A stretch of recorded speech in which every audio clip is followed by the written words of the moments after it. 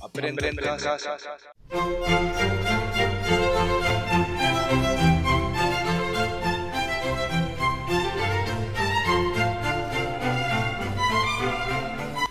Antes de comenzar a tratar las formas instrumentales del barroco, vamos a repasar las características musicales. Gran gusto por el ornamento, notas de adorno, trinos, grupetos, apoyaturas, aparición del bajo continuo, voz inferior que hace de sustento armónico, nacimiento de la tonalidad, se establece el sistema tonal, mayor y menor. En armonía, ciencia que estudia los acordes y su enlace, se hace un uso pictórico de las disonancias y los semitonos, empleados para expresar dolor o desconsuelo, la llamada teoría de los afectos.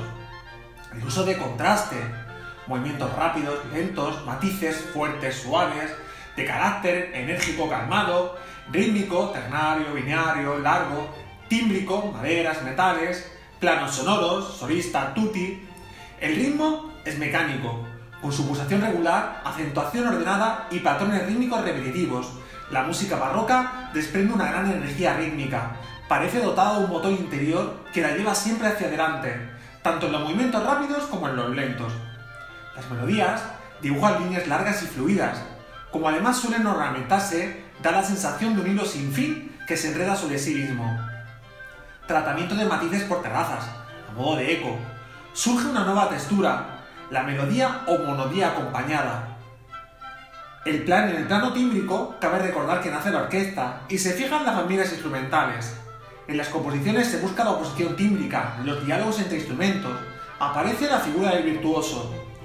Proliferan las formas musicales, surgen formas pensadas expresamente para las posibilidades de los instrumentos y la orquesta, conciertos, tocatas, suites, sonatas, y nacen también nuevas formas vocales, entre ellas la ópera. El policoralismo se trata de relacionar no cuatro o cinco voces, sino hasta doce o más. Con ello la sonoridad llega a unas novedades increíbles, se extiende el ámbito de la voz, uso de contrastes y ecos dado que las voces forman coros diferentes y se responden unos a otros, la riqueza dinámica o de matices, juego, piano fuerte. Dentro de las formas instrumentales del barroco, vamos a empezar a ver las pequeñas formas instrumentales para solista o conjunto. La tocata, estilo musical para instrumentos de tecla, que intentaba sugerir el efecto de una ejecución improvisada. Para su interpretación, los ejecutantes tenían que poseer una gran habilidad. Destacamos a Frescobaldi, a Froberger o a Juan Sebastián Bach. La fuga, hacia finales del siglo XVII, la fuga había sustituido casi por completo al antiguo ricercale del Renacimiento. Composición polifónica en contrapunto en un solo movimiento y que se estructura de la siguiente forma. Exposición. Una voz expone un tema o sujeto que posteriormente otra voz ha transportado a quinta superior o a la cuarta inferior, llamado respuesta. Desarrollo, episodio o divertimento. Cuando el sujeto es expuesto en todas las voces se inicia esta parte, que juega con el material aparecido en la exposición. El estrecho. Al final, se alcanzan unas voces a otras para terminar juntas en un final común. En la tonalidad principal, hemos de destacar a Juan Sebastián Bach como maestro de esta forma barroca. La suite, el agrupamiento de danzas, interpretada sin interrupción, establecerá la suite de danzas. Comienza con un preludio de introducción, siguen después un número variable de danzas, siendo las más habituales la alemanda, con movimiento moderado, compás de dos o cuatro tiempos, la curante, movimiento vivo, compás en tres tiempos, la sarabanda, movimiento lento, compás en tres tiempos de origen español, y la giga, movimiento vivo y compás de 3, 6, 9 o 12 partes, con su dirección ternaria. Algunas se escriben en pares, así la Burré 1 y Burré 2. La sonata significa música para ser sonada. Surge al usar series de danzas contrapuestas que no se bailan, sino que se tocan. Es una composición para un pequeño grupo de instrumentos, 2 a 4, con un bajo continuo. Grave, alegre en estilo fugado, moderato, vivo en estilo fugado u homofónico. A partir de la obra de Claudio Marullo se distinguen dos prototipos. La sonata da Chiesa, que nunca llevará en sus movimientos nombre de danza, lento, rápido, lento, rápido. Se interpreta en la iglesia y el bajo continuo lo hace el órgano. La sonata da cámara, que sí lleva en sus movimientos nombre de danza, y cuyo continuo lo hace un clave. Se destina al concierto. Además de esta sonata para conjunto, hemos de distinguir otros prototipos de sonata según el número de instrumentos que la interpretan. La sonata trío trío sonata es la conformada por dos instrumentos agudos, dos violines y un violonchelo, más el clave que realiza el bajo continuo. La sonata dúo, dos instrumentos más el continuo. Y sonata solística, un instrumento solo más el continuo.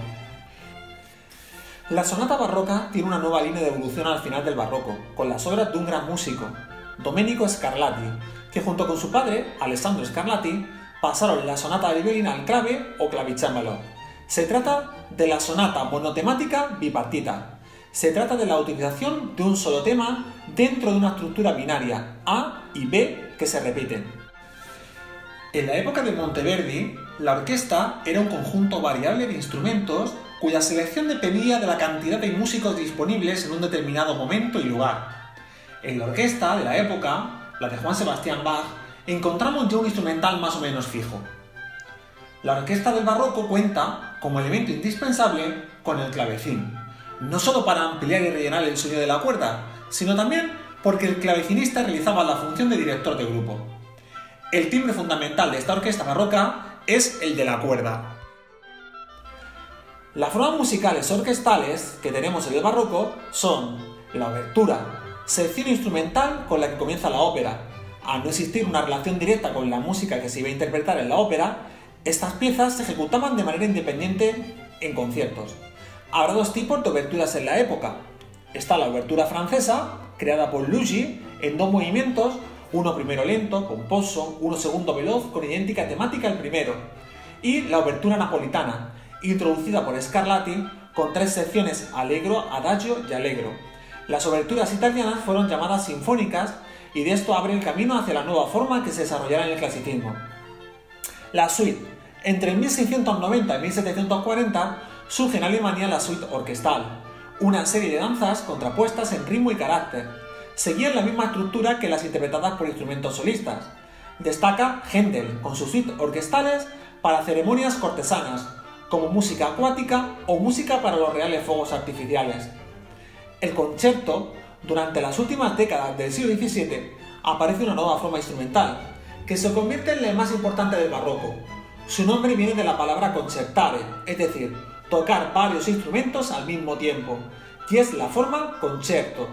Consta de tres movimientos contrapuestos, alegro, lento, alegro, está basado en el contraste y el diálogo entre el solista y el ripieno o tutti, orquesta, que realizan los ritornelos, a modo de estribillo. Un primer movimiento alegro, semejante a un rondó, un segundo movimiento lento con forma binaria y un tercer movimiento alegro con forma rondó simple A, B, A, C, A, D. Hay que diferenciar dos variantes, el concepto a solo, contraste entre el grosso de la orquesta y un solista, y el concepto grosso, en el que se contrastan dos grupos, el tutti y un pequeño número de solistas llamado concertino.